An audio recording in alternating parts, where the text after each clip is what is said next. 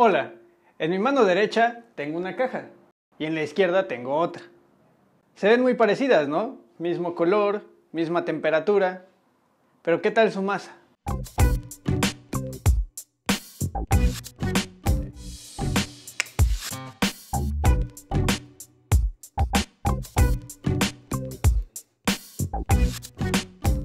¿Qué es lo que pasó? Una contiene más átomos que la otra. Estos átomos tienen partículas que a la vez tienen masa. Hay una propiedad llamada densidad que nos dice cuál es la cantidad de materia por unidad de volumen.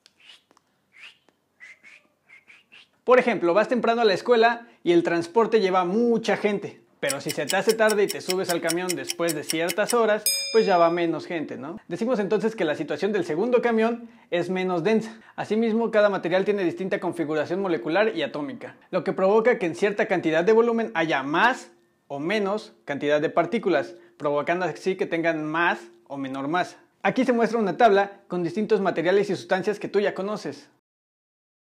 Mira esos números, ¿qué significan? Por ejemplo, este nos dice que si tengo un cubo de un metro por un metro por un metro lleno de agua, serían mil kilogramos. En cambio, si tuviera el mismo cubo pero lleno de miel, serían más de 1400 kilogramos. Esta tabla de densidades también te puede dar una pista de cómo se hunden algunos materiales. Por ejemplo, el hielo flota en agua, pero se hunde en gasolina. Y el aluminio se hunde en casi todos los líquidos que puse ahí, pero flota en el mercurio. Es decir, los materiales se hunden en sustancias de menor densidad. He hecho un experimento con algunos alumnos que consiste en verter líquidos en una botella y así ir viendo cómo se separan por distintas densidades. Pero bueno, regresando a lo importante, los objetos tienen su cantidad de masa debido a la densidad del material del que estén hechos, y pueden ser chicos y muy masivos, o grandes y livianos, o cualquier combinación de estos. Y así casi es la masa de las cosas.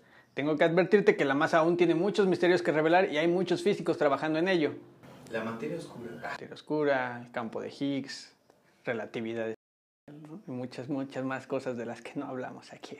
En este video, Javier Santolaya nos explica cómo la masa le sigue sacando canas verdes a muchos físicos. Y otro de Derek Mueller del canal de Veritasium. Gracias por ver este video y recuerda que la ciencia está en todos lados. Si tienes alguna duda, déjala en los comentarios y trataremos de responderla en un próximo video. Chao. Ya no tiene pila. Eh.